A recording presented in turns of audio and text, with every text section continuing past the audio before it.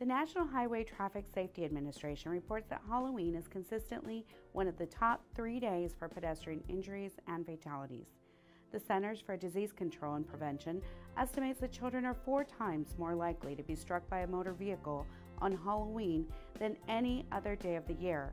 Here's some tips that can help keep your trick or treaters safe on Halloween and year round. Be bright at night. Trick or treaters should wear retro-reflective tape on costumes and treat buckets to improve visibility to motorists and others. Wear disguises that don't obstruct vision and avoid face masks. Instead, use non-toxic face paint. Carry a flashlight containing fresh batteries and place it face down in the treat bucket to free up one hand. Never shine it into the eyes of oncoming drivers.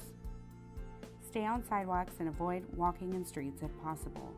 If there are no sidewalks, walk on the left side of the road facing traffic. Look both ways and listen for traffic before crossing the street. Cross streets only at the corner and never cross between parked vehicles or mid block.